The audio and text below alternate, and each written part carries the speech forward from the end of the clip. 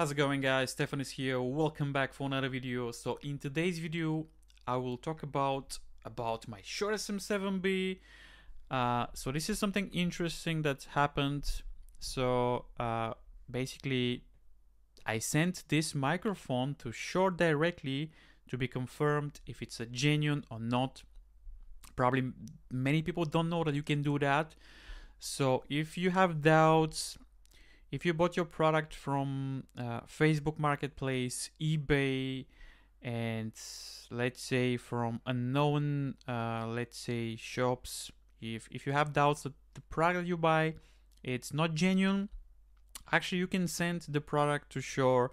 And this is what I what I did. I'm gonna put the video that I did a couple days ago with the unboxing of the uh, microphone as well. Um, but uh,